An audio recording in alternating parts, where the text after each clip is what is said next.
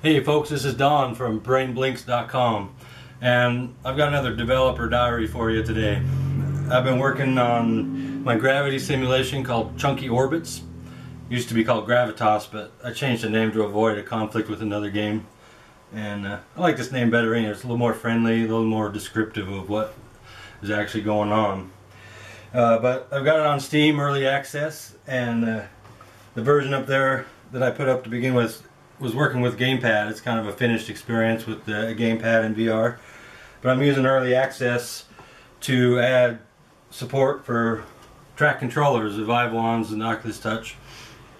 And uh, I'm hoping to get some feedback from players and some good ideas about what they want to see in the room scale version of this sim. And so far, it's going great. It's really fun uh, to be in there just in this big empty space with no cockpit or any distractions. It's just you and the chunks and gravity. and what I really want to show today is a new movement system I've got for the game.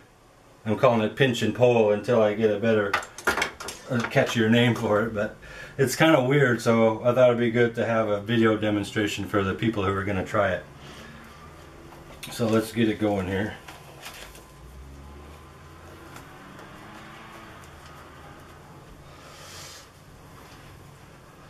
Let's see.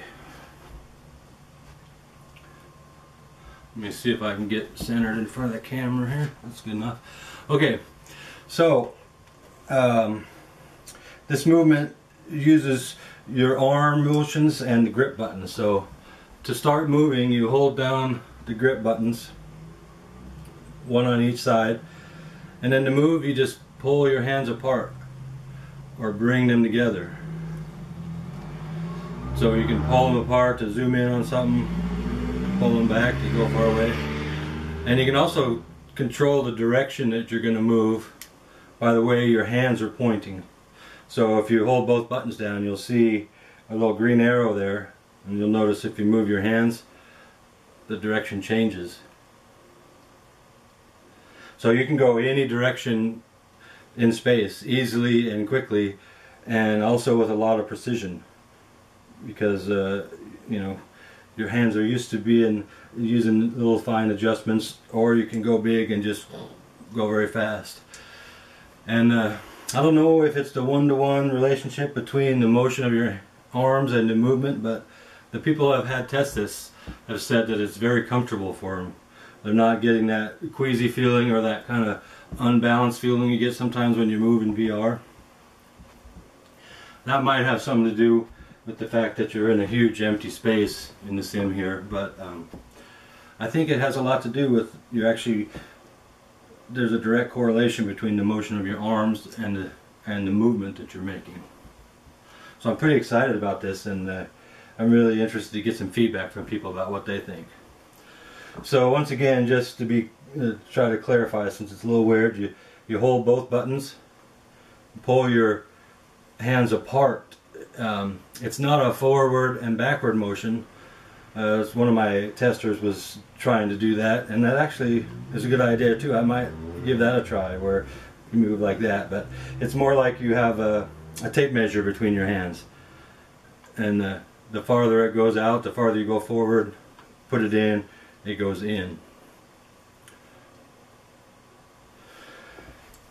And uh, right now I just have a few of the features of the sim um, implemented in this room scale version.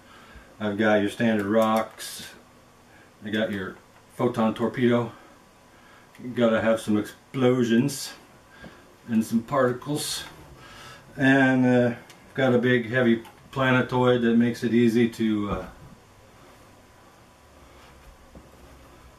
get some orbits going on your own and I got a big, the white dwarf, which is very heavy and uh, really likes to eat up those chunks.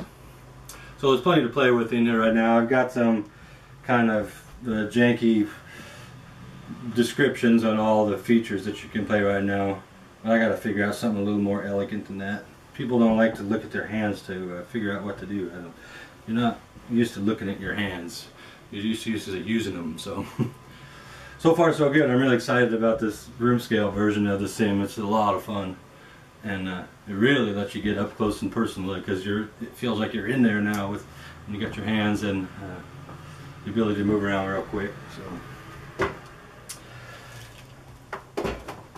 So yeah, if you want to uh, keep up to date on what's happening with Chunky Orbits, you go by brainblinks.com, look for the page, or go to Steam, search for Chunky Orbits. It's only two bucks on early access if you want to give it a try.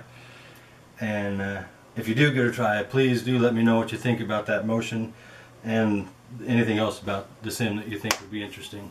So, thanks for watching, and I'll catch you later. Bye.